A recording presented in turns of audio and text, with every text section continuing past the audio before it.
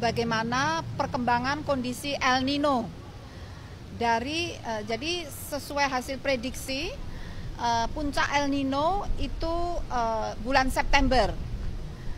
Namun tadi kami juga dari data satelit yang terkini kita melihat Oktober ini nampaknya belum turun.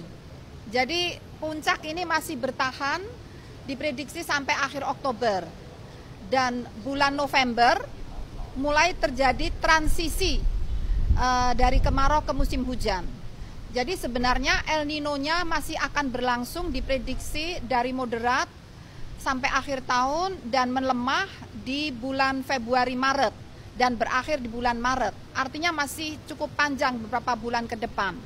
Namun alhamdulillah uh, karena adanya angin dari ini angin monsun monsun dari arah Asia sudah masuk ya ini mulai November. Jadi kita akan insya Allah mulai turun hujan di bulan November. Artinya pengaruh El Nino akan mulai tersapu oleh hujan. Sehingga diharapkan kemarau kering itu insya Allah berakhir uh, secara bertahap. Ada yang sebelum November tapi sebagian besar mulai November. Ada yang